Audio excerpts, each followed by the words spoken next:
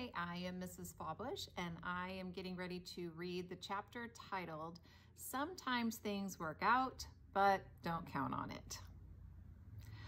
On Saturday, I find Mom in the kitchen pressing raw hamburger into patties. I was thinking we should invite the new neighbors to our barbecue, she says. This could be a nice chance to introduce ourselves. Great. I watch her hands shape another hamburger and know I'd better choose my next words carefully. What about David? What about him? Sometimes he forgets the rule about chewing with his mouth closed, or he drinks from someone else's soda, or they live next door, Catherine. Mom looks over the top of her glasses at me. You can't pretend he doesn't exist. I trace a line on the linoleum with my toe. I know, but it's hard enough to make new friends without worrying he'll do something embarrassing. I just want it to be nice today, a fun cookout with nothing going wrong. Dad and I will watch him.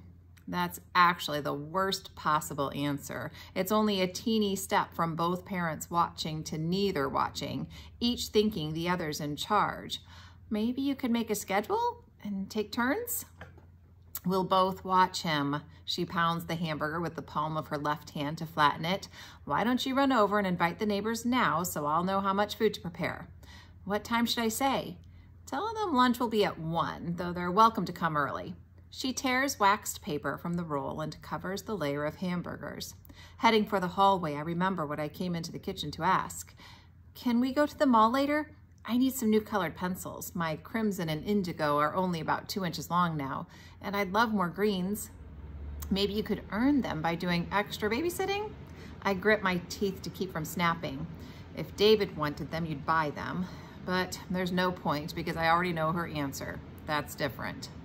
She's right, it is different, and here's how.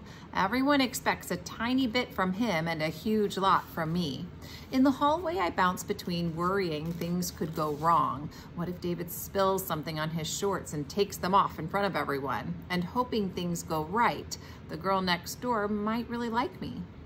Before I open the front door, I close my eyes and wish, just this once, let it be easy. Outside, Dad is pitching a tennis ball to David on the front lawn. Here it comes. David swings too late and the ball thumps against the side of the porch. All done? Let's watch TV. Like I said, you have to try 10 times before you can watch TV. Dad picks another tennis ball from the pile on the grass at his feet. We have five balls left. Catherine, tell him when to swing. David and I sigh together. He lifts the plastic bat and moves his feet apart. Swing, I yell as the ball comes close. David misses anyway. You need a bigger ball, I tell Dad. He'd have a better chance. It'd help if we had a catcher, he replies. Want to play? I look across the fence pickets to the woman in her lawn chair reading. No thanks. Mom said I could invite the family next door to our cookout, and she's waiting to hear if they're coming. Dad bends to grab the next ball from the pile and you'll be in charge of David. It's only half the truth, but if dad thinks he's in charge, he won't wait for mom to do something. All right, he says, elbows up, get ready to swing, David. Walking to the fence, I notice the woman is younger than mom with short brown hair and glasses so dark I can't see her eyes. Excuse me? She sets her paperback face down on her lap. Hello. Hi, I live next door. I cringe at how stupid I sound. Of course I live next door. Why else would I be talking over our fence to her? She smiles. My daughter Kristi will be excited to meet you. She's with her dad this weekend, but I'll send her over to introduce herself when she gets back. My heart drops. She's not home. That'd be great. My mom was wondering, David shrieks. I turn to see the plastic bat flying through the air. David runs in a tight circle, flailing his arms, his mouth wide in another ear-piercing howl. As Mom dashes down the porch steps, Dad calls to her, It's all right, it's just a bee. I can't see our new neighbor's eyes behind her sunglasses, but her lips aren't smiling. I want to sink behind the fence and hide, but it wouldn't do any good. She'd still see me between the slats. Oh, look at the time, I say, checking my watch. Sorry, gotta go. Bye, the woman says. I'll tell Kristi you stopped over. Hurrying for the house, I pass Mom sitting cross-legged on the grass with David thrashing in her arms.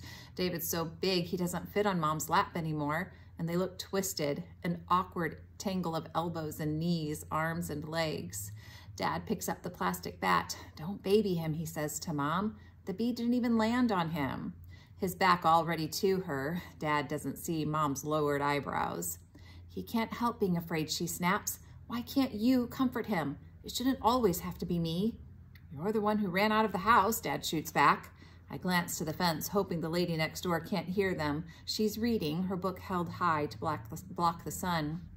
Shh, Mom soothes David. It's all right. A bee won't hurt you unless you bother him. I want to yell at her. It's not that easy. David can't even figure out what'll bother me. I kick a tennis ball out of my way and watch it skitter across the grass and bounce against the steps. Dad bends to pick up the tennis ball. As I run up the porch steps, he asks warily, did you invite your new neighbors? They're busy, I lie, closing the front door behind me.